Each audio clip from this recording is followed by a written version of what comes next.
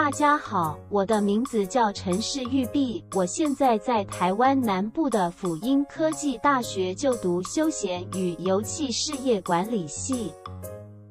今天我想跟各位分享我的青春故事与梦想实践。首先，跟各位分享我的青春故事。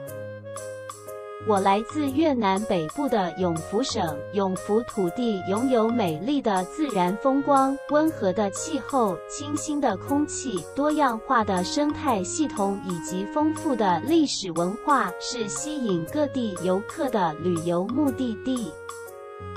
来到永福，游客不能错过著名的旅游胜地，如 Tam 高风景区、Tai In 风景区。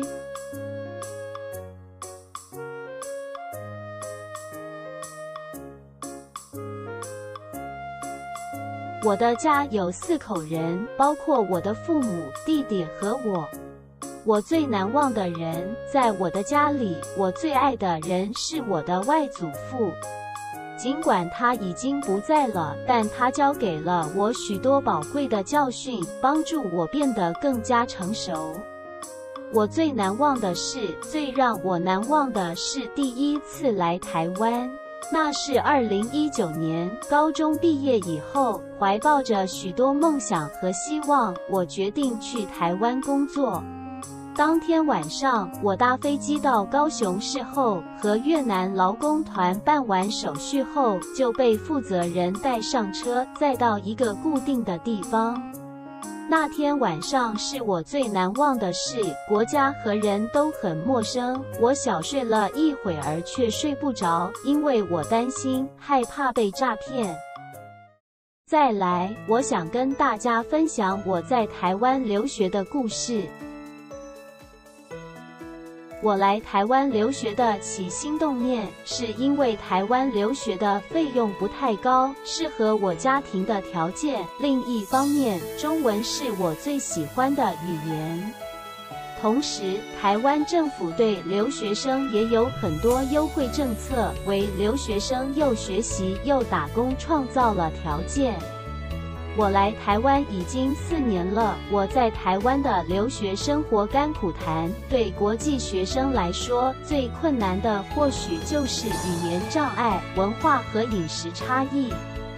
此外，生病时没有家人照顾，上班时被同事凌压。出国留学开了新的未来，也教会了我独立，有快乐也有难过。这确实是我人生旅途中极为宝贵的经验。接着，我想聊聊我的未来梦想，还有为什么我未来的梦想是这个。我的梦想是在学习期间努力提升自己的汉字书写能力，学会开车，合理安排学习和工作的时间，累积经验，存点钱。我希望毕业后能找到好工作，比如说当翻译或中文老师。我最大的梦想是开中西餐厅连锁店。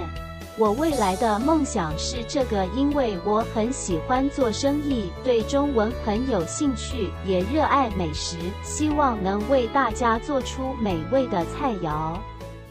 最后，我要跟大家分享我计划如何实践我的人生梦想。大一，积极参与社团，与当地人交朋友，培养听说能力，练习中文写作能力。